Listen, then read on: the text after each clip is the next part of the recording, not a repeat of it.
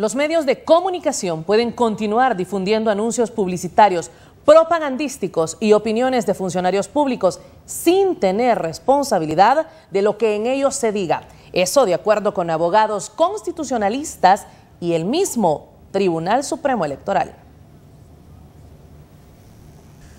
La resolución de la sala se cimenta en el artículo 218 de la Carta Magna que expresa los funcionarios y empleados públicos están al servicio del Estado y no de una fracción política determinada. No podrán prevalerse de sus cargos para hacer política partidista. De ahí que, de acuerdo a este ex magistrado de la Sala de lo Constitucional, los medios de comunicación no son responsables de lo que un partido publique, ni las declaraciones que puedan emitir funcionarios públicos. En ese mismo comunicado el que le está diciendo a los medios de comunicación, miren, ustedes no tienen por qué ponerle límites o ponerle tapujos o, establecer algunas limitantes para las publicaciones que le están pidiendo que hagan.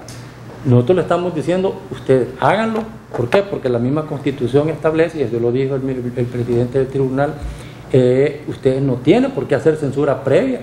La sala le dice al tribunal, desarrolle estos principios. El tribunal viene bien o mal, y lo desarrolla y da una resolución. Esa resolución está vigente.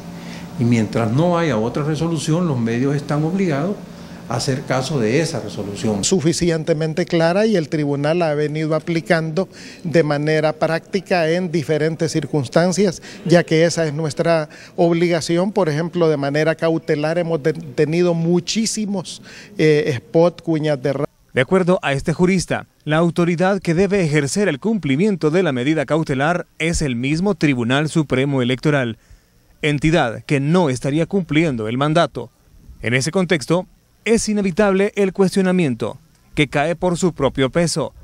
¿Cómo quedan entonces los medios de comunicación si en uno de los programas al aire un funcionario X transgrede la disposición? Con el cumplimiento de toda sentencia judicial, en este caso una resolución de la Sala de lo Constitucional para este tribunal es una orden que sencillamente tenemos la obligación de cumplir. Cualquier funcionario puede dar sus opiniones y cualquier funcionario puede contratar o las entidades públicas pueden contratar campañas y los medios las tienen que pautar. Además, los medios de comunicación deben transmitir la publicidad estatal porque utilizan espectro radiofónico que pertenece al Estado. Son concesionarios de un bien público. El artículo 965 del Código de Comercio los obliga a contratar, salvo orden judicial. Lo que le ha dicho el tribunal es, usted no son censores previos, usted publique y la censura va a venir después por vía del tribunal. Hasta hoy el tribunal no ha sancionado a ningún medio de comunicación y únicamente son tres las condiciones en las que podría ser eventualmente sancionado un medio y debo de decir que no tenemos proceso abierto contra ningún medio. Los medios tienen derecho a realizar programas de opinión y no están obligados a pedir permiso para invitar a funcionarios. Pero eso sí, si con sus palabras o hechos el asistente transgrede la disposición, este deberá responder por el acto. Héctor Peñate para Tele 2.